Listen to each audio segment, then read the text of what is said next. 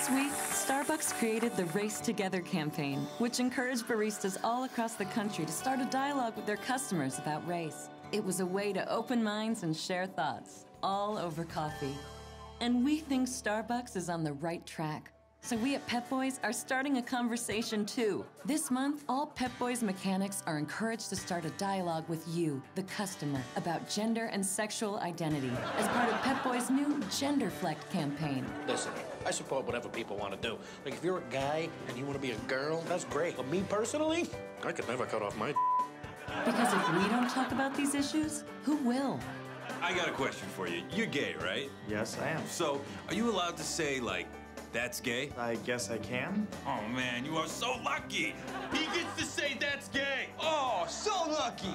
Our mechanics are ready to start a conversation with you about complex intersex issues. If you got both parts down there, then be proud. If I had both, I'd be doing myself all day long. Please go get my car. You know what my favorite show is? Ellen. That's important because she used to be a man. No, she didn't. Yes, she did. No, she didn't. Yeah, she was a man. Will you go get my car? Because Pep Boys knows that the only thing more important than your car is taking the time to GenderFlect. I think my cousin's kid got born wrong. Uh-huh. Well, not wrong, because that's the thing, you know. It's, it's not wrong if it's right to him. Okay.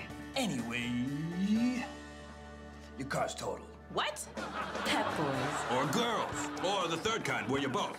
So do I need new brake pads, or...?